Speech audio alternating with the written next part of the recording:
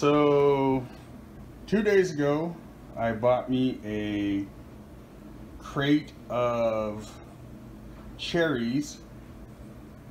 Uh, 18 pounds is what they come in the crate. I spent three hours stemming and seeding these things by hand.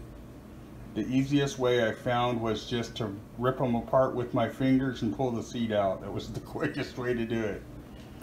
Anyway, I did a recipe for cherry pie filling and it actually took the whole box and I was short two pounds after stemming and seeding.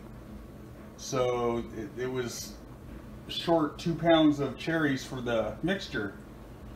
Well let me tell you it was supposed to be seven quarts is what the recipe called for. But um, I ended up with 11 quarts and a pint of it left over in the fridge that I was just going to use as jam or topping for something. Um, but anyway, I had I had to do it in two batches, and I had uh, two that siphoned really bad, which means when they were in the thing that they overfilled and they put out some of the juice. So they're only like half full. But it's still safe. They're totally fine. It just happens to have air in it. They're sealed. They're sterilized. So they'll be fine. But you'll just have to use two of these jars to replace an actual quart to make a pie. So there's 10 pies worth of stuff here. Crazy. Anyways, that's the end of the cherry adventure. I'll show you here a uh, my cherries pie filling on the shelf. There's apricots from last year. I've got uh, pomegranate juice, cherry, um, juice, lemon juice, rhubarb juice.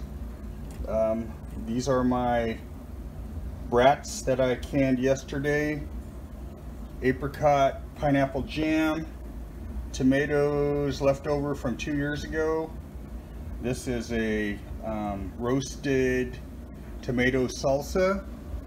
These are grape juices. This is also cherry poulet juice. Oops, I got a brat that's on the wrong spot. So I'll put him away with the others. Um, this is my pickled okra. And today I am getting strawberries and rhubarb to make some filling for pies. I hope it does not make 11 quarts.